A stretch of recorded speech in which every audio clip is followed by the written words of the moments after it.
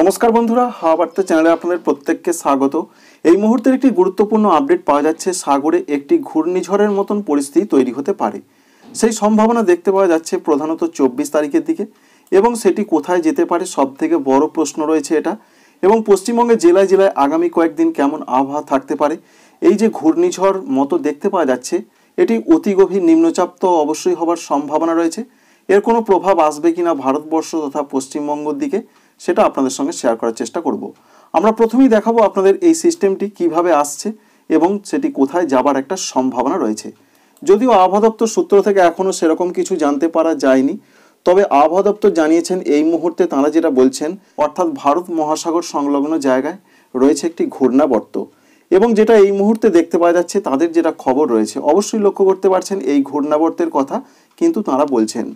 তবে সিস্টেমটি অর্থাৎ যেটি ঘূর্ণিঝড়ের মতন পরিস্থিতি দেখতে পাওয়া যাচ্ছে, সেটি কোথা থেকে আসতে পারে? আমরা একটু একটু করে পিছিয়ে যাব। আমরা চব্বিশ তারিখের দিকে দেখতে পাচ্ছি একটি ঘূর্ণিঝড়ের মতন পরিস্থিতি। আমরা তেইশ তারিখের দিকের যে আপডেট পাচ্ছি সেটি অতি গভীর নিম্নচাপের আকারে আসতে পারে। তার আগে আপনাদের জানিয়ে দিই, সেটি ভারতবর্ষের দিকে আসার সেরকম কোনো রকম সম্ভাবনা আপাতত দেখতে পাওয়া যাচ্ছে না। শ্রীলঙ্কা এবং ভারতবর্ষের অনেক দক্ষিণ দিক এবং নিচে দিয়ে সেটি যাচ্ছে। সেটি যাওয়ার সম্ভাবনা বেশিরভাগ রয়েছে সোমালিয়ার দিকে এবং ওমানের দিকেও যেতে পারে। তাই এখনও পর্যন্ত যা তথ্য আমরা পাচ্ছি, তাতে যদি ঘূর্ণিঝড় তৈরি হয় হয়তো বা এই দিকে যেতে পারে নয়তো বা এই দিকে যেতে পারে। খুব কমই দেখা যায়, সেটি রিকাভ করে আবার ভারতবর্ষের দিকে আসে। তবে সম্ভাবনা খুবই কম। এটির সম্ভাবনা নেই বললেই চলে। প্রধানত সোমালিয়ার দিকে যাবার তার একটা সম্ভাবনা তৈরি হতে পারে। তেইশ তারিখের দিকে প্রথমেই যেটা বললাম আপনাদের একটি অতি গভীর নিম্নচাপ হবে, অর্থাৎ চব্বিশ তারিখে যেটি ঘূর্ণিঝড়ের মতন পরিস্থিতি তৈরি হচ্ছে, বাইশ তারিখের দিকের যা তথ্য পাচ্ছি আমরা, সেটি প্রধানত আসছে বঙ্গোপসাগরের দিক থেকে আসার সম্ভাবনাই রয়েছে, তবে সেটি নিম্নচাপের আকারে বাইশ তারিখে আসতে পারে।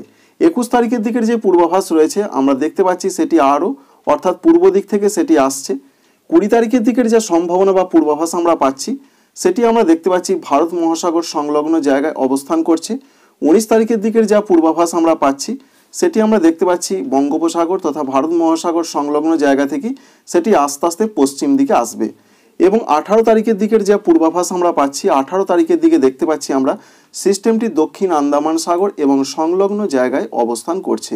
অর্থাৎ এই সিস্টেমটি আস্তে আস্তে পশ্চিম দিকে এইভাবে এসে আরব সাগরের দিকে একটি ঘূর্ণিঝড়ের আকার নিতে পারে চব্বিশ ডিসেম্বর তারিখের দিকে। তারপর সেটি কোথায় যাবে এখনও পর্যন্ত পূর্বাভাস নেই। তাই সিস্টেমটি অনেক দূর থেকেই কিন্তু আসছে। সোজাসুজি বাংলার দিকে আসার সেরকম কোনো সম্ভাবনা নেই এবং সতেরো তারিখের দিকের যে পূর্বাভাস আমরা পাচ্ছি, আঠারো তারিখের দিকে আমরা দেখলাম। সতেরো তারিখের দিকের যে আপডেট পাচ্ছি, একেবারে দক্ষিণ আন্দামান সংলগ্ন সাগরের দিকে তার অবস্থান থাকার কথা রয়েছে।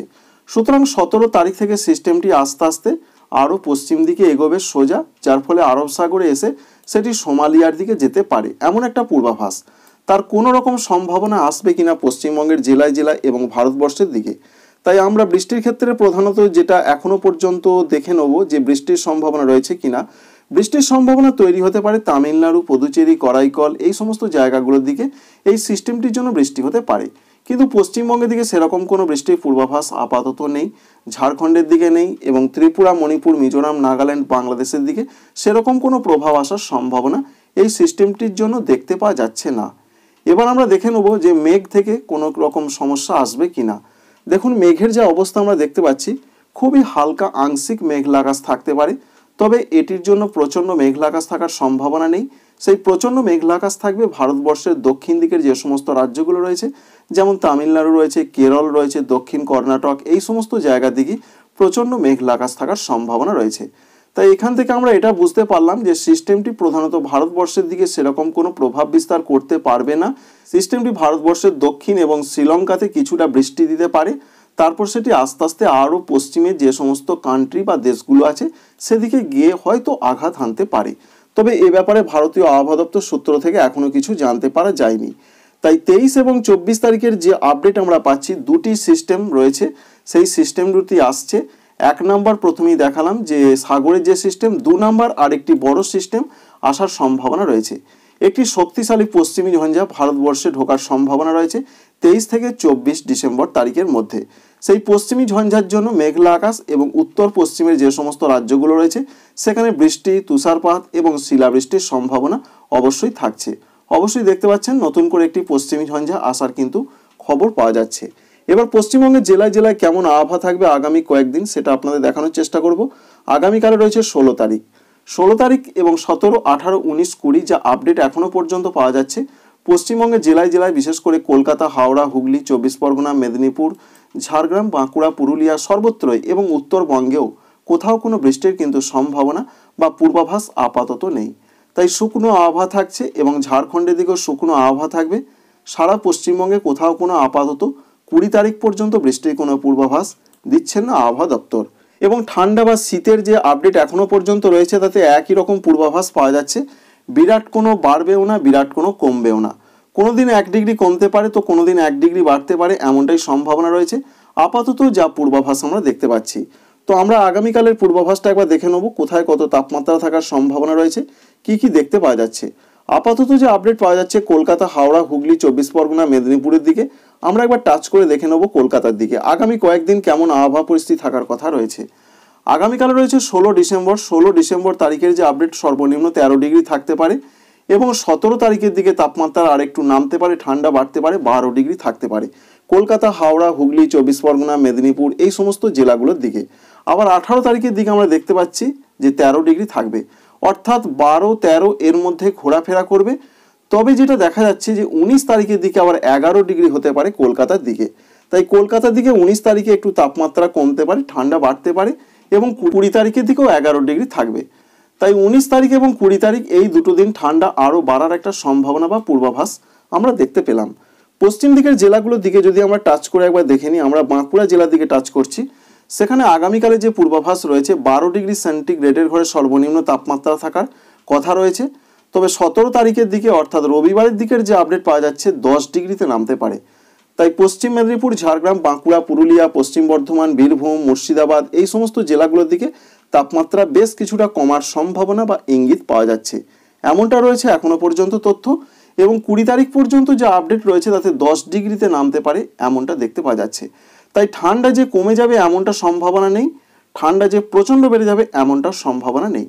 সারা দক্ষিণবঙ্গের এবং ঝাড়খণ্ডের ক্ষেত্রে একই রকম আবহাওয়া থাকবে, যদিও ঝাড়খণ্ডে তাপমাত্রা আরও কমের দিকে থাকবে, কারণ রাঁচি, ডালটনগঞ্জ এখানে নয় ডিগ্রি পর্যন্ত থাকতে পারে।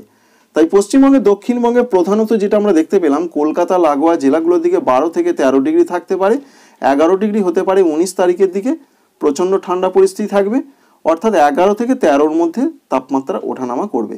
পশ্চিম দিকের জেলাগুলোতে দশ থেকে এগারো ডিগ্রির মধ্যে তাপমাত্রা থাকার সম্ভাবনা রয়েছে। এবং পূর্ব বর্ধমানে তো সেই একই রকম খবর। এগারো থেকে বারো ডিগ্রি সর্বনিম্ন তাপমাত্রা থাকছে এবং উত্তরবঙ্গের ক্ষেত্রে যে আপডেট পাওয়া যাচ্ছে, এখানে একবার দেখে নেওয়ার চেষ্টা করব। আমরা দেখে নেব একটি জায়গা টাচ করে। তাতে দেখতে পাচ্ছি আমরা আলিপুরদুয়ার জেলার দিকে যদি টাচ করি, তাতে আগামীকালের যে সম্ভাবনা বা পূর্বাভাস রয়েছে, চোদ্দ ডিগ্রি থাকতে পারে। বিরাট কম কিন্তু তাপমাত্রা নয়, এমনটা দেখা যাচ্ছে। এবং সবশেষ যে আপডেট আমরা পাচ্ছি, উনিশ তারিখের দিকের যে আপডেট রয়েছে, তেরো ডিগ্রির ঘরে থাকতে পারে। সুতরাং উত্তরবঙ্গের ক্ষেত্রে যে আপডেট রয়েছে, প্রধানত বারো থেকে তেরো ডিগ্রির আশেপাশে সর্বনিম্ন তাপমাত্রা থাকার সম্ভাবনা রয়েছে। তাই আপাতত বৃষ্টি নয়, ঠান্ডা পরিস্থিতি একই রকম চলবে। কুড়ি তারিখের পর ঠান্ডা একটু কমতে পারে। কারণ দুটি সিস্টেম আসার খবর রয়েছে, একটি তো পশ্চিমী ঝঞ্ঝা আসবে, আরেকটি সিস্টেম যাবে, অর্থাৎ সাগরে তৈরি হবে, যার ফলে কিছু জলীয় বাষ্প দক্ষিণ ভারত হয়ে আসার সম্ভাবনা রয়েছে। অর্থাৎ আংশিক মেঘলা আকাশ, তা থেকে ঠান্ডা কিন্তু কমতে পারে। আর একটি ঘূর্ণিঝড় তৈরির সম্ভাবনা রয়েছে, সেটা আপনাদের দেখিয়ে দিয়েছি। প্রধানত সোমালিয়ার দিকে তার টার্গেট রয়েছে। তবে যে কোনো দিকে সেটি যেতে পারে, এখনই সম্পূর্ণভাবে বলা সম্ভব নয়। এবং উত্তর পূর্ব ভারতের যে রাজ্যগুলো রয়েছে, এখানে ঘন কুয়াশা কোনো কোনো জায়গায় আসতে পারে। তবে বৃষ্টির সেরকম আপাতত কোনো খবর নেই। তাই আসাম, মেঘালয়, অরুণাচল প্রদেশ, ত্রিপুরা, মণিপুর, মিজোরাম, নাগাল্যান্ডের ক্ষেত্রে যে আপডেট রয়েছে, আগামী কয়েকদিন সেরকম কিছু বৃষ্টি আমরা দেখতে পাচ্ছি না। প্রধানত শুকনো আবহাওয়া তবে অরুণাচল প্রদেশের কোথাও কোথাও খুব হালকা বৃষ্টি হতে পারে। বিরাট কিছু গুরুত্বপূর্ণ নয় এবং ঠান্ডা পরিস্থিতি বেশ কিছুটা ফিরেছে এবং আর একটু ঠান্ডা পরিস্থিতি আসতে পারে।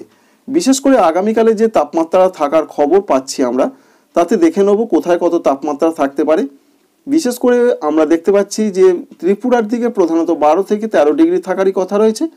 অন্যদিকে আসাম, মেঘালয়, অরুণাচল প্রদেশ, এখানে তাপমাত্রা যে থাকতে পারে সর্বনিম্নটা তাতে দেখা যাচ্ছে বারো থেকে চোদ্দ ডিগ্রির ঘরে থাকবে। মোটামুটি ভালো রকম জোরালো ঠান্ডা চলে এসেছে, সেই রকমই বজায় থাকছে। বাংলাদেশের দিকে যা তথ্য আমরা পাচ্ছি, তাতে বাংলাদেশের উত্তর পশ্চিম দিকে যে সমস্ত বিভাগগুলো রয়েছে, সেখানে ঠান্ডা পরিস্থিতি আরও বাড়তে পারে। যেমন রয়েছে রাজশাহী, রংপুর, সঙ্গে খুলনা বিভাগের দিকে। তবে অন্যান্য বিভাগ ময়মনসিংহ, সিলেট, এছাড়া রয়েছে চট্টগ্রাম, এখানে তাপমাত্রা প্রচণ্ডভাবে কমার সম্ভাবনা নেই, চোদ্দ থেকে পনেরো ডিগ্রি থাকছে। মোটামুটি ঠান্ডা থাকার খবর রয়েছে। বৃষ্টির ক্ষেত্রে যে আপডেট পাওয়া যাচ্ছে, আপাতত বৃষ্টির কোনো সম্ভাবনা নেই এবং দেশের বিভিন্ন জায়গায় এবং নদী অববাহিকা জায়গাগুলোতে মাঝরাত থেকে সকালের মধ্যে মাঝারি থেকে কোনো কোনো অঞ্চলে একটু ঘন কুয়াশা পড়তে পারে।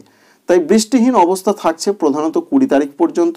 আংশিক মেঘলা আকাশ, ঠান্ডা পরিস্থিতি, উত্তর পশ্চিমে যে সমস্ত বিভাগগুলো রয়েছে, রাজশাহী রয়েছে, সঙ্গে রংপুর রয়েছে, খুলনা বিভাগের পশ্চিম দিকে জায়গাগুলো রয়েছে, সেখানে ঠান্ডা পরিস্থিতি একটু বাড়তে পারে। দেশের অন্যান্য জায়গায় ঠান্ডা পরিস্থিতি একই রকম থাকার খবর আমরা লক্ষ্য করতে পারছি। তাই উনিশ তারিখের দিকেও আমরা কোনো বৃষ্টি দেখতে পাচ্ছি না এবং কুড়ি তারিখের দিকেও কোনো বৃষ্টি নেই। Thanks for watching